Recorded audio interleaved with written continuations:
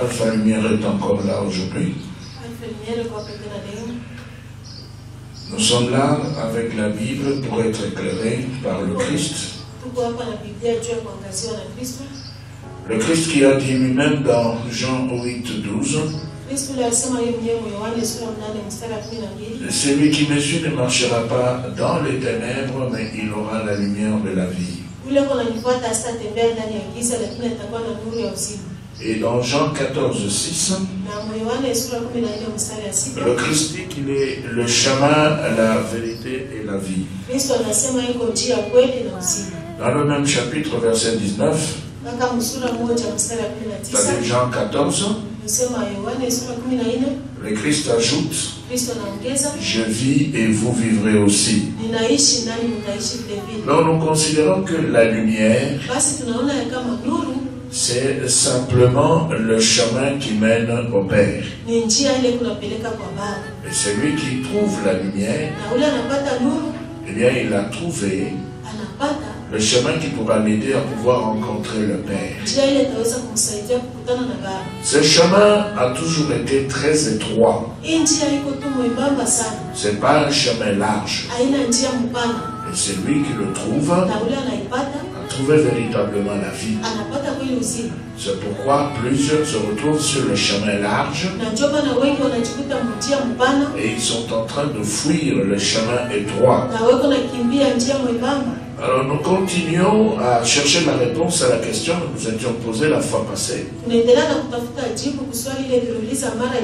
Où trouverons-nous les disciples de Christ aujourd'hui?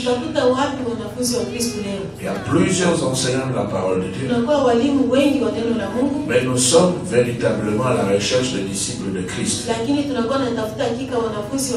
Pourquoi? Parce que nous pensons que la pensée de 2 Corinthiens 3, fikiri ya Wakorinto wa pili sura tatu. nous lisons dans la Bible 2 Corinthiens chapitre 3, Tusome Biblia ya Wakorinto wa pili sura tatu le verset 17 et 18, mstari ya 17 na ya 18, on nous dit ceci.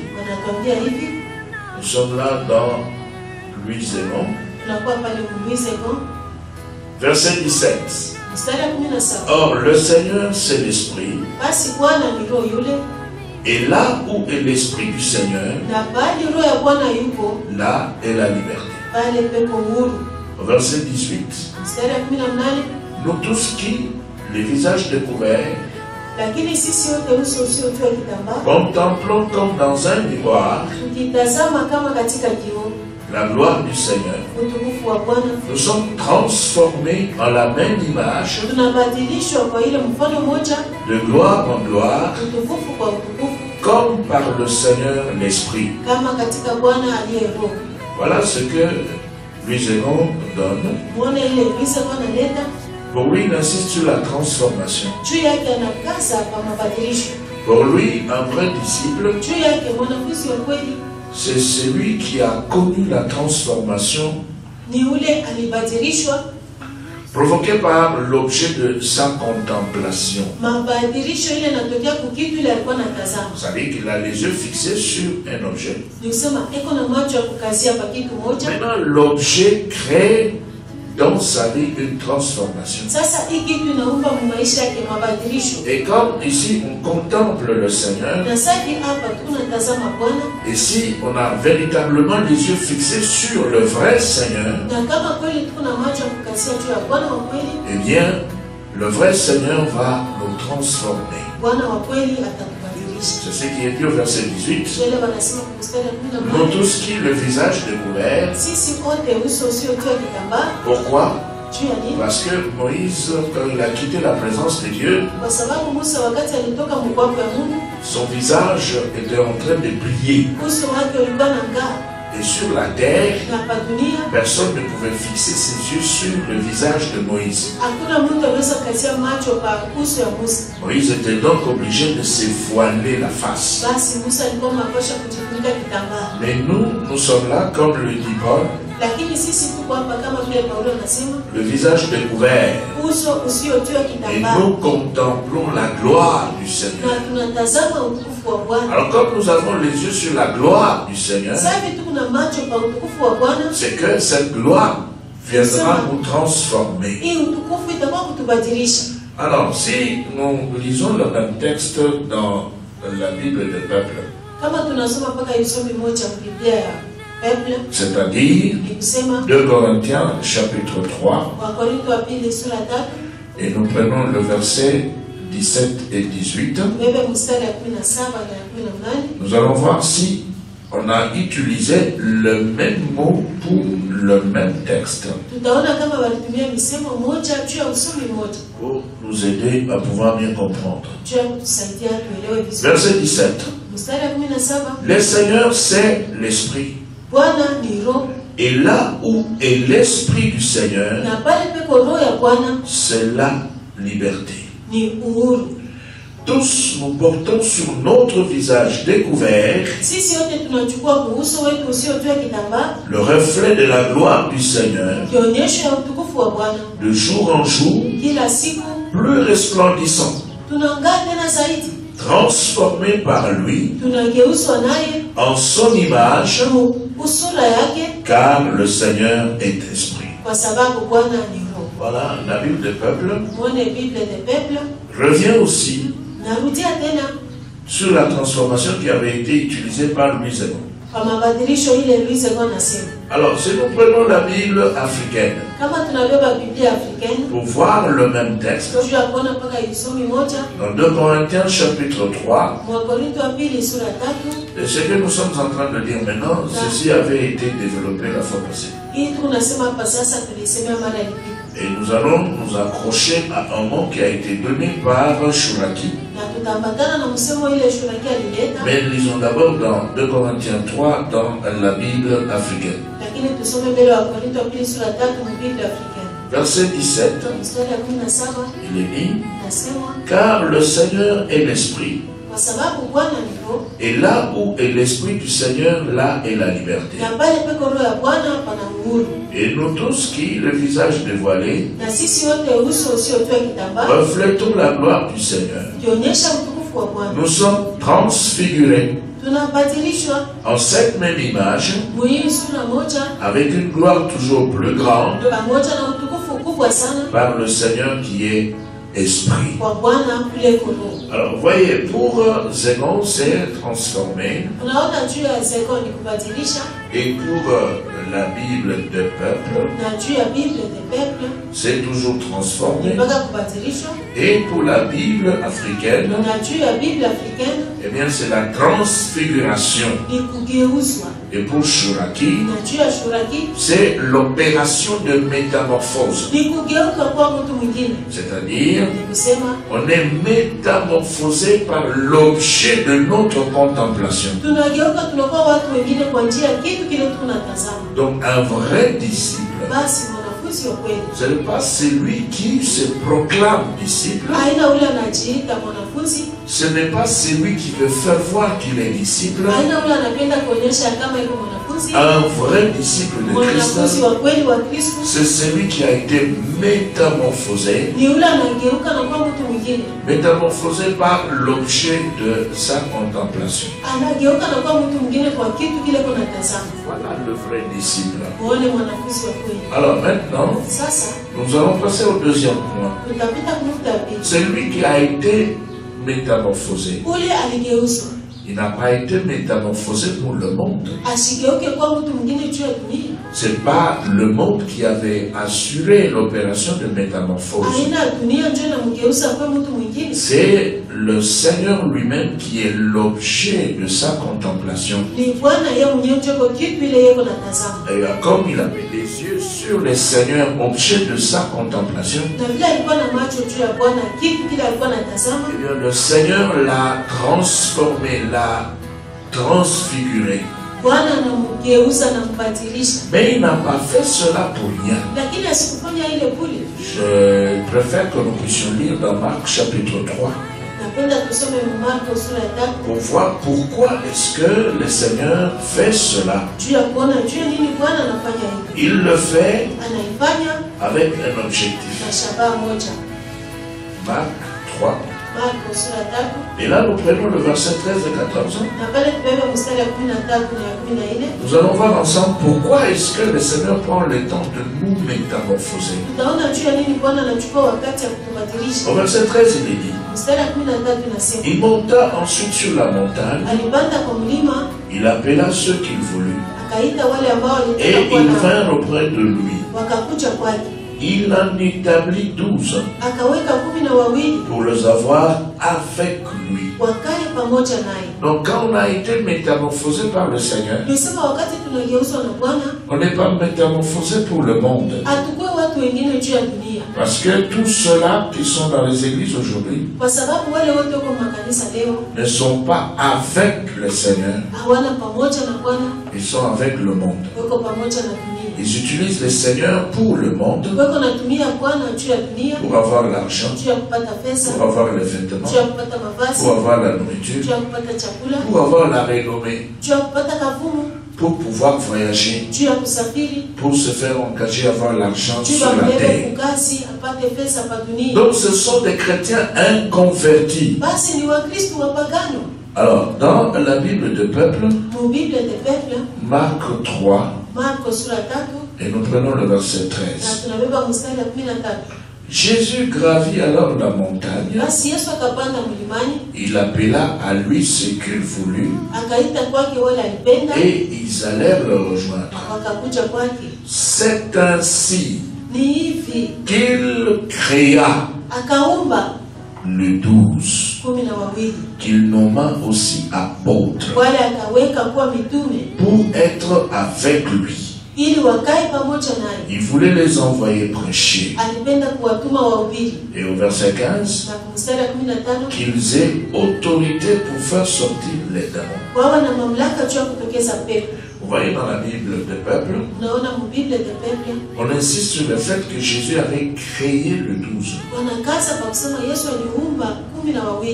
Comment est-ce qu'il avait créé alors que c'était des hommes qui étaient déjà là sur la terre, qui respiraient, qui étaient en mouvement et qui voyaient. Eh bien, le douze avait été simplement métamorphosé. watu wengine C'est-à-dire qu'ils avaient été recréés par l'opération de métamorphose. Mais le Seigneur a fait cela pour que le douze puisse être avec naye Avec lui. Parce qu'il ne voulait pas rester seul. Parce qu'il ne voulait pas faire le travail seul. Et c'est pourquoi il avait créé le douze. na ndio maana aliumba wale kumi na wawili Avec un seul objectif. Le douze devait être avec lui. Alors, être avec lui, d'abord en pensée. Développer une communion spirituelle véritable.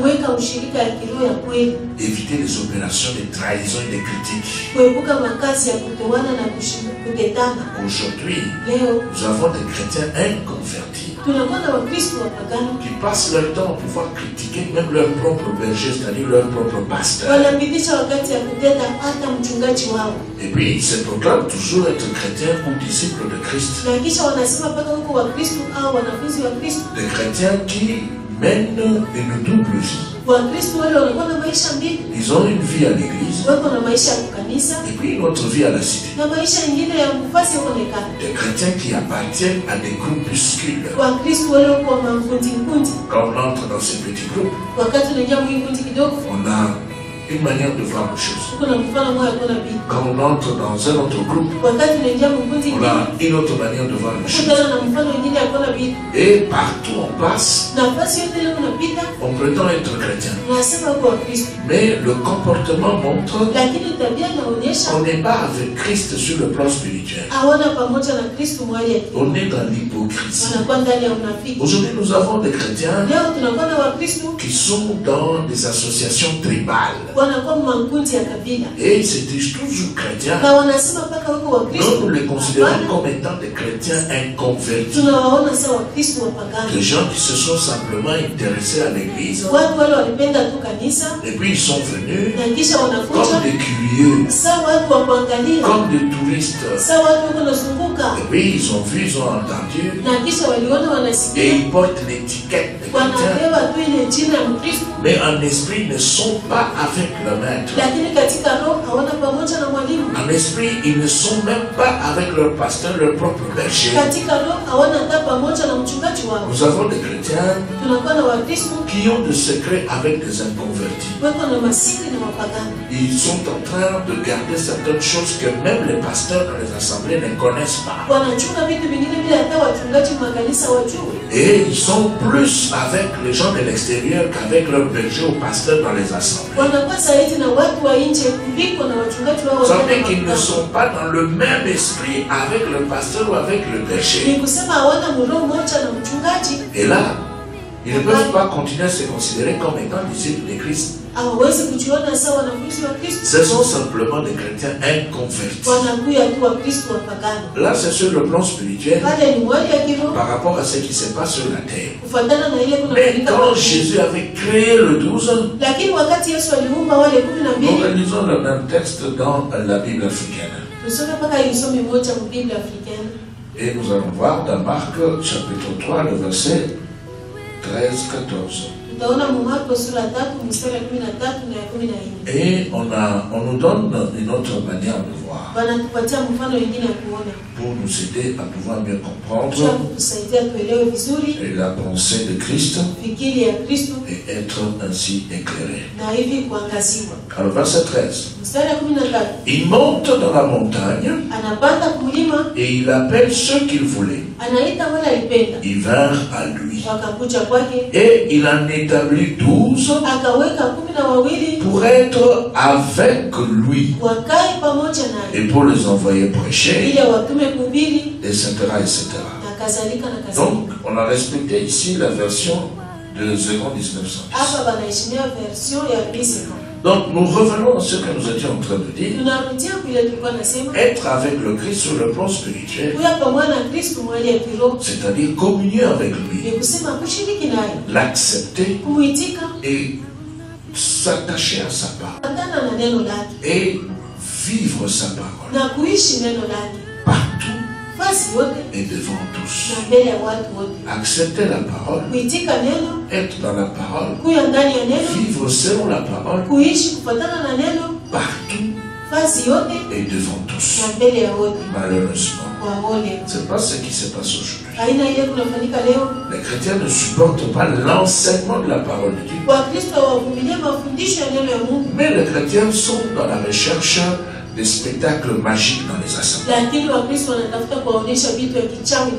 Ils ont besoin de spectacles, de chutes, de tombées.